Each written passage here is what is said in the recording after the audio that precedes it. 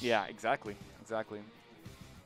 You know, each of the others kind of has something that they're extremely strong at. Link just controls that bubble around him so well with Nair. Uh, Young Link with that barrage of projectiles that confirms into so many things. Then you have Toon Link and just not not quite as appealing, right? It looks like we've got Pokemon Trainer into it, so.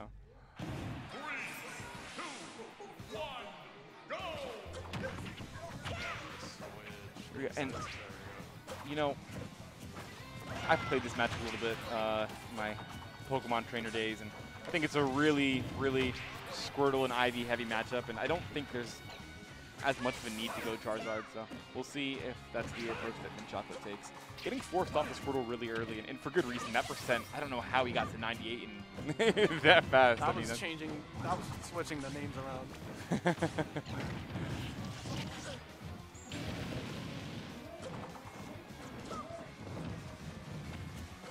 go. I mean, look, Ultimate's just holding center. You don't see zoners hold center this well often, so it's pretty impressive that he's able to do that with a character that Pokemon Trainer is really threatening, especially on somebody like Charizard.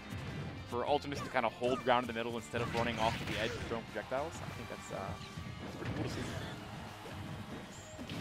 But now Chocolate is actually brought it back to even out even. Yeah. Oh, that oh, that was a great switch. Doesn't quite get down soon enough. That should wrap up the stock. Oh, wow. I'm surprised. Nice comeback from Mint Chocolate. Uh, this, this, yeah, okay. I wanted to see him get off Squirtle as soon as possible. Being at Squirtle at 120 is just usually not a winning proposition. Even Ivy takes a hit there. Yeah, I think when you're at that high, 130, 140, in my opinion, you almost always going to be on Charizard.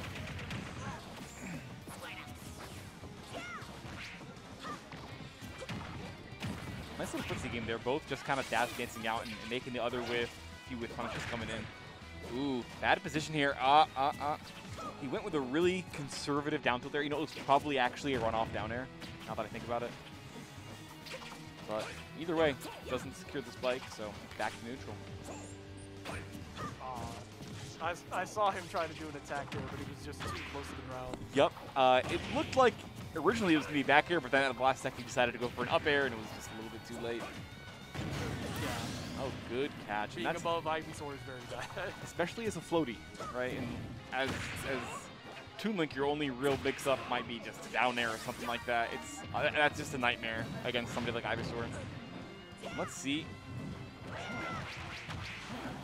Good edge guard attempt. Called the low recovery, but didn't really commit to it and just kind of like floated out in there. I feel like Alternis could have punished that side B hitting the stage there with a forward air. Totally, yeah. Because that did take a long time before he was able to actually do anything. And you know, given if you take away that first like 30 seconds of the game, that was super dominant for Mint Chocolate. Yeah. Do you think he's going to stay on uh, on Toon Link, or you think, you know, maybe that desire to win might force out a character switch? Uh, I know, he is committed. I don't know if anyone hears or no, but uh, Alternis is complaining about Charizard. well, Charizard definitely won that game. Contrary to what I was saying about you know sticking to Squirtle and, and, and Ivysaur, it was really the Charizard show. Yeah, I mean, Squirtle is good if they can get in, but the only thing they have going for them as far as getting in is being small and kind of fast. Yep, yep, yep. And Squirtle's like base mobility is not so good. It's that frame data that's super fast that kind of lets you like, if you claw your way into their range, like you said, using that small size, then just the frame data is so overwhelming and there's so many frame traps and, and combos. It's, it's just a nightmare when Squirtle's next to you. But the unfortunate thing is that Toon Link, as well as many other zoners, just have a bunch of projectiles to more than likely keep them out. Yeah, exactly. Once you limit that ground movement of Squirtles and force them to start coming with like the short hops, it, it's no, could, oh, yeah. beautiful call out. I was about to say he could die right now. I was expecting another up air, but that works too. I love that, and you know it was bold, but at the same time, like he wasn't gonna die if he missed, right? So I, I think it's a calculated risk, and it, and it worked out. Oh, he has definitely stronger follow-ups than, than jab 3 off that jab block there, but oh, probably just didn't react in time. Nice. Keeping it close. and the taunt coming out. Hey, Alternis is having a little bit of fun.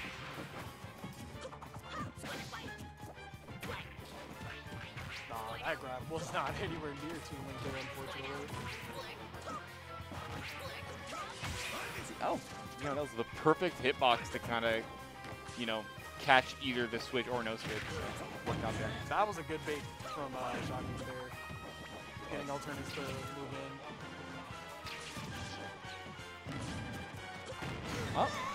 I guess, yeah, I think it, ha it has to be what he was. He waited on that platform for a long time. You have to imagine he was going for something like that.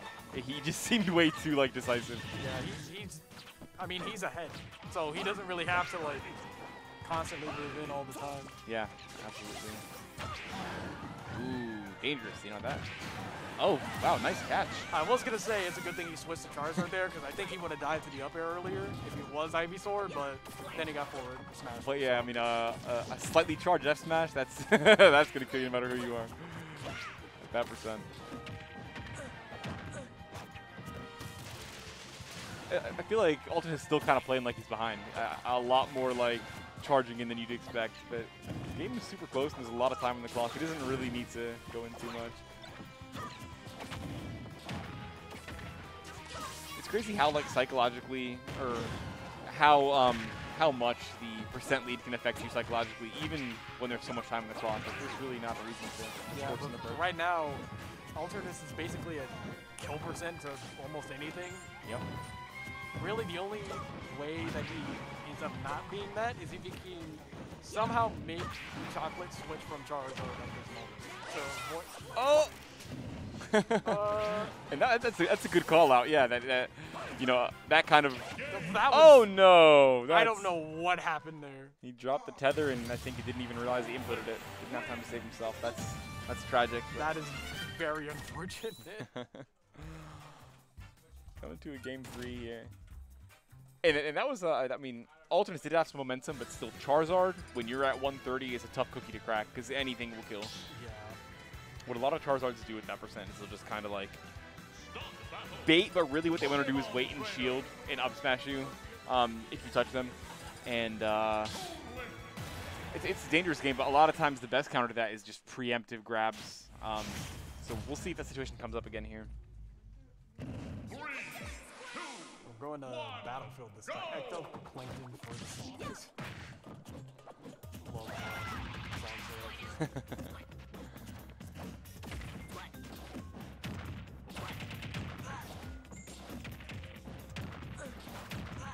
Okay. Chocolate has some good predictions there on what Alternis is going to do out of all those combos there. Yeah, definitely. I just I wish he was a little more aggressive once he got him with that down throw back air off stage. Like, Toon Link definitely has a, a pretty limited and, and, predictable recovery path. So here we go. Let's see. Let's see here. if chooses to pursue a little more aggressively. Oh, I'm surprised I hope didn't hit shield yeah.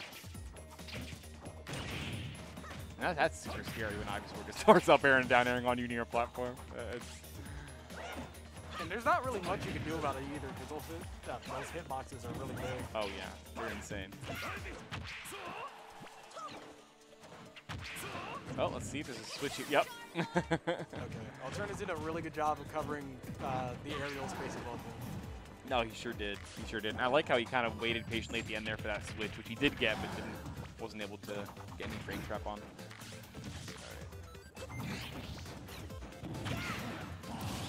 Good That'll edge guarding. I, I still feel like Alternis does still need to be careful of Charizard's side Because I was kind of expecting him to do it there, but I'm, I'm kind of expecting it to happen at like last stock if it's gonna happen. Yeah, because he hasn't pulled it out really all set, right? Yeah, he, he did it before, like in the first game, but even then it was still rare. yeah, yeah. That's one of those moves where you just keep in your pocket like once or twice a set, and it, it can flip the whole set around.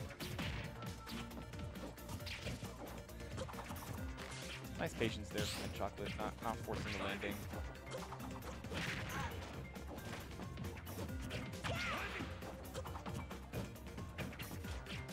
Alternis is doing some good job keeping just general pressure on Chocolate, making sure that he isn't able to move very comfortably.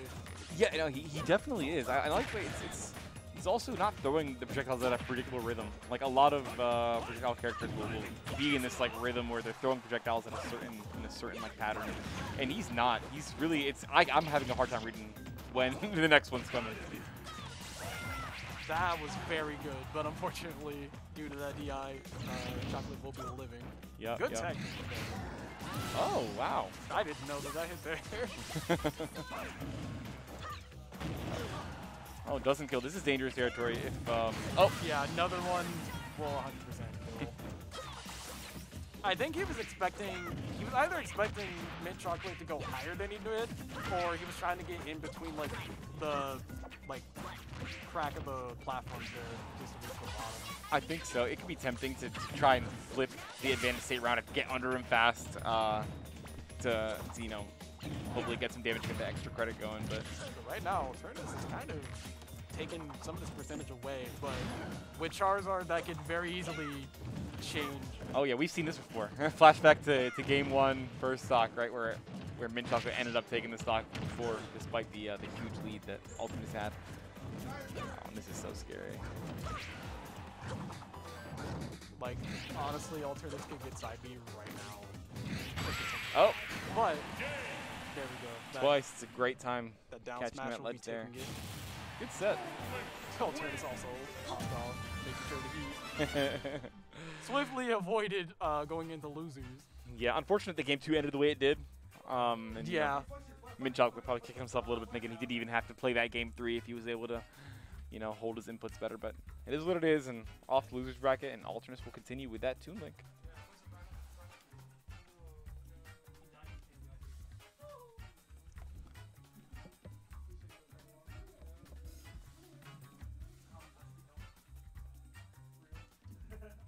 Now we have I heard Tru- Truist? Truist? I'm not sure who it was. uh, Truist and Anti-Pop. They're at the top. At the top. Cool. Sorry, I don't see it.